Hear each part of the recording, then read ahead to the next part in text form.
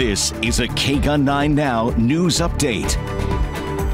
Hello, I'm Lydia Camarillo. We learned that Lute Olson passed away last night, just days after he was put into hospice care. While he is a legend in the sports world, he is also known as being part of the soul of Tucson. He was regarded as one of college basketball's greatest coaches of all time. He led the Wildcats to four Final Four appearances, including a national championship and an amazing 23 consecutive NCAA tournament appearances. And get this, it all happened after he got to Tucson when he was close to 50 years old.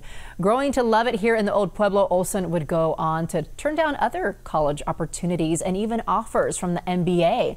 Here's what he had to say during a 2016 interview about his role at the University of Arizona.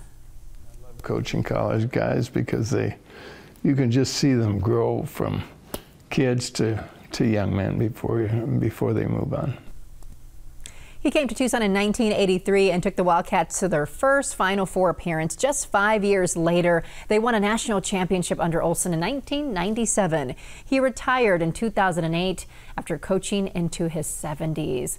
Let's take another look at his accomplishments. Olson was inducted into the Memorial Basketball Hall of Fame in 2002 and the National Collegiate Basketball Hall of Fame in 2006 and was just reinducted last year in 2019. He also received the Naismith Award for Outstanding Contribution to Men's College Basketball in 2013.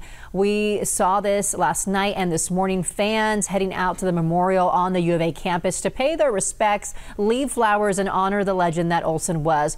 We don't know much about the condition that he was suffering from or the reason he was put into hospice care earlier this week, but we do know he hasn't been seen in public since having a minor stroke last year.